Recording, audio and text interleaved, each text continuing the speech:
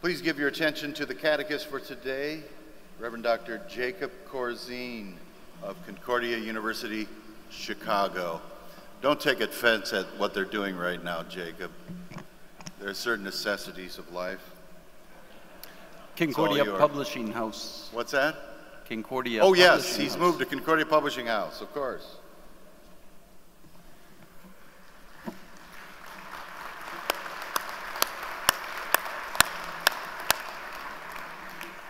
Well, it is a joy and an honor to speak to you all today about our Lord's precious gifts as they are described in the fourth, fifth, and sixth chief parts of the Catechism baptism, confession and absolution, and the Lord's Supper. We will handle baptism today and a little bit of confession and absolution and save the rest for tomorrow. I hope you have your catechisms along. If you do, I'd ask you to pull them out and turn to page 291. One of the benefits of this catechism is that in this back section it's filled with prayers, and we will use a couple of these prayers as we move through uh, the catechism today and tomorrow. So please pray with me on page 291. Gracious Father, thank you for the gift of baptism, which your Son has established by his word and promise. Teach us to treasure all that Jesus has done for us in his cross and resurrection. Give us confidence that through our baptism we bear your holy name, and so are your holy children for time and eternity. Through the same Jesus Christ our Lord. Amen. The fourth chief part in the Catechism on baptism is divided itself into four sections. We'll handle them in order. The first addresses the question very simply what baptism is. What are we dealing with? What has God given us? The second, what benefits does baptism give? Why is it a blessing for us to receive it? The third handles an objection, but it's just water. Why should we expect anything from that? And the fourth will be very interesting for us. It deals with what symbolism is present in baptism, what we can see if we watch closely as it occurs. We'll begin with what baptism is. For this, I'll ask you to turn back a few pages to page 285. So, the front of the volume has, of course, Martin Luther's Catechism with explanation. The back of the volume has that, and then along the way, a lot of these uh, questions and answers um, from our, our more recent editors that help us to understand and apply that to our own lives. So, page 285, you'll see in the box that it says the nature of baptism. This is Luther's text. So, I'm going to ask you to recite. Use the box if you need it, use your memory if you can. What is baptism?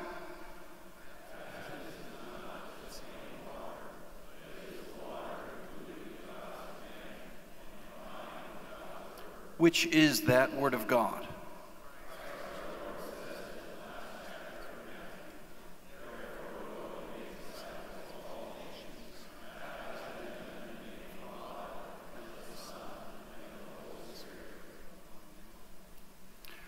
Two parts make up the baptism the water and the word. We'll go through them quickly. It's helpful to just divide these things up. So, first, the water. There isn't anything special about the water. We drink with water, we wash our hands with water, we clean other things with water.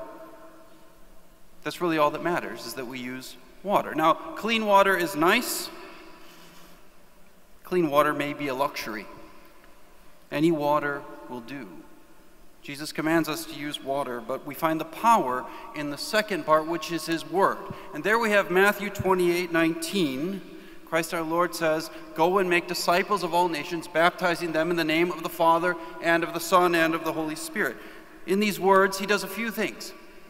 He institutes the baptism, he gives it to us, he creates it as a thing for us, which um, is a rite or a ceremony in the church, to be sure. We have a special word for it. We call it a sacrament.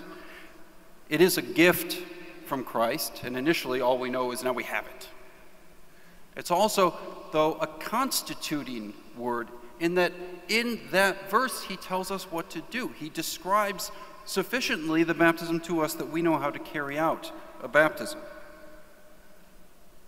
And by instituting and constituting it himself, we are allowed to draw the conclusion that he is saying to us, when you do this, I am actively present among you. What a gift. But then we also have a second thing that is attached to the baptism through the word, which is the promise. We have a word of institution, that's language we know, and we have a word of promise, which is language we also ought to know, which is that it makes disciples. It cleanses us of our sin. One of the other things that you'll find in the back of the catechism that helps you to orient yourself is that the Bible passages are all numbered. You're dealing with three sets of numbers the page numbers, the question numbers, and then the Bible passage numbers. So if you go to page 286, which should just be one turn of page, then Bible passage number 990 is Ephesians 5 25 and 26. Christ loved the church and gave himself up for her that he might sanctify her, having cleansed her by the washing of water with the word. And so baptism has this promise that we are cleansed, it has this promise that we are made the disciples of Christ. One more thing before we move on to the second part. As Luther formulates this, how does it begin? Christ our Lord says. So we also get sort of slid in underneath in the grammar the answer to the question of whose baptism it is. It is the baptism of Christ the crucified. It is his work, Christ's work. It is his promise, Christ's promise, Christ's word. Once you hand it over for sprinkling, pouring, or immersing, it becomes His water. And then finally, you become, your child becomes His baptismal child. Let's keep going. Page 292, I'm going to ask you to recite again. What benefits does baptism give?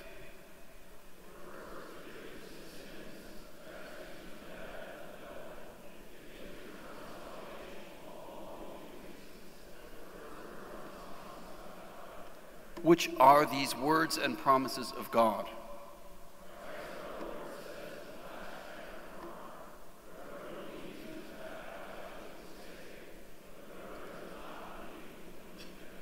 So we want to try and hang on to these Bible passages that Luther gives us.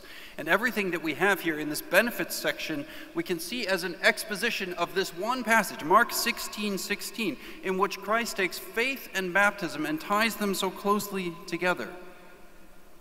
What is the Christian's is the Christian's by faith, and what the Christian has by faith is given the Christian in baptism. So, what are the benefits? Forgiveness of sins. And here, if you look into um, page 292, question 308, you can follow along a little bit. I'm not going to keep directing you into it. But there we find uh, the Bible passages that support the three things that Luther has given us forgiveness of sins, life, excuse me, the three things that Christ has given us forgiveness of sins, life, and salvation. The other things Luther has put into the list for us. So first, forgiveness of sins. Acts 2.38 and Acts 22.16 that you can read there show how baptism brings with it the forgiveness of sins. It's helpful to think of this as belonging to us as God's baptized children over the course of our whole lives.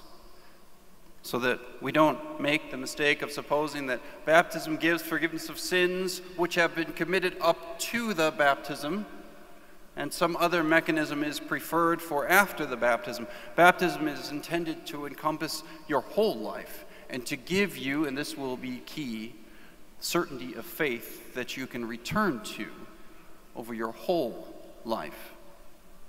That you don't I'm going to say it one more time. You don't have the impression that you got a fresh start, a clean slate at baptism, and now you have to have a new plan for the rest. You can always fall back on that confidence that you were baptized. And so you start to see how God forgives not just the sins, but the sinner. The second part, Jesus, uh, baptism rescues from death and the devil. Now, if we would turn back to the sixth petition of the Lord's Prayer, we would find what the devil does. He misleads into false belief, despair, and other great shame and vice. These things separate us from God and therefore lead to death. And so the second benefit of baptism is that it rescues from death and the devil. Baptism is your recourse when you are faced with the devil. And this is important.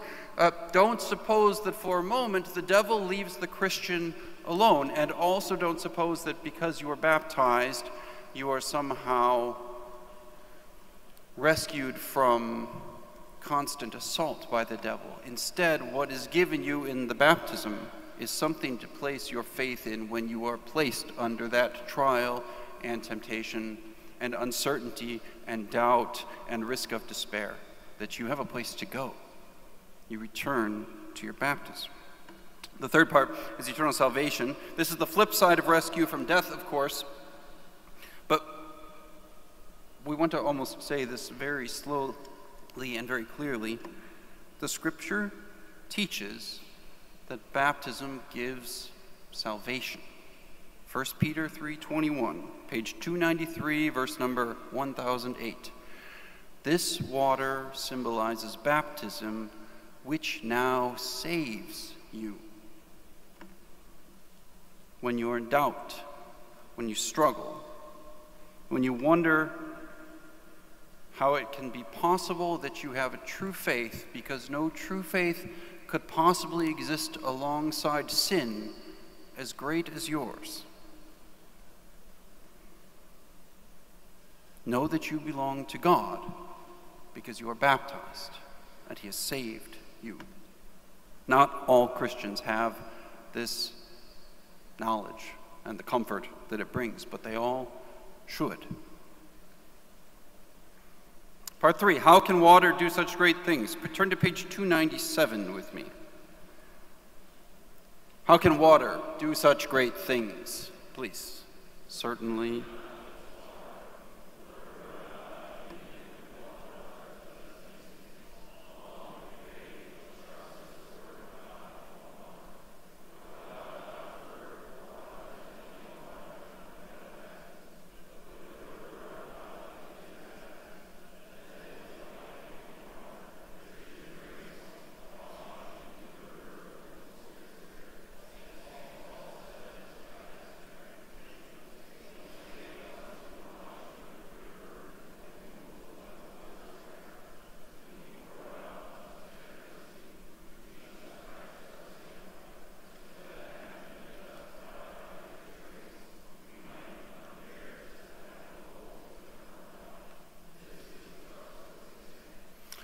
So here's the objection. But it's just water. This is an objection that is still raised today. How can it be that the gifts of God are given not through spiritual, ethereal means, but through something tangible and graspable, maybe a little murky, like water? We have to do this kind of quickly.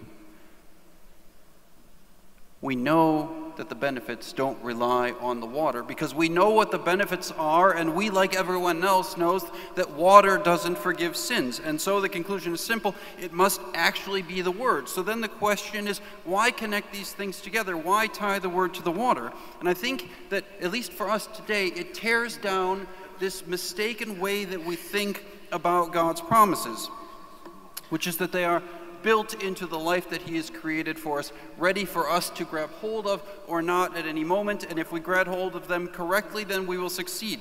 Train up a child in the way he will go, and when he is old, he will not depart from it. Seems like it works a lot of the time.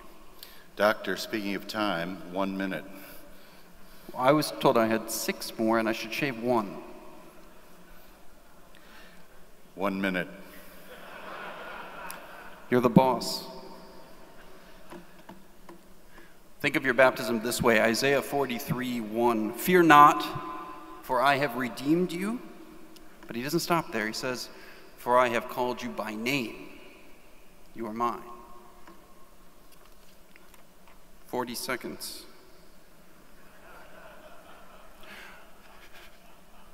Here we go.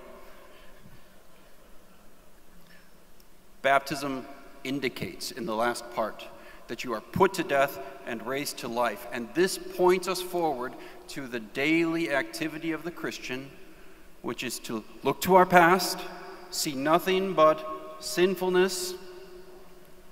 It's not pleasant, but it's true.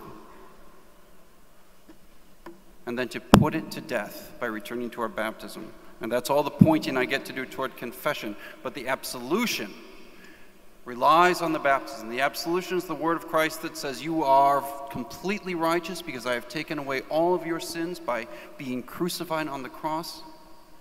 And now you are fully righteous. Go forth in new life. We will have to continue tomorrow. Thank you all. Thank you, Dr. Corzine.